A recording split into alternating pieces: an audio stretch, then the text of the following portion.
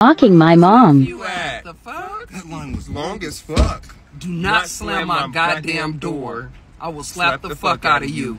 And let me tell your ass, do not fucking mock me. I will punch the shit out of you. Punch him.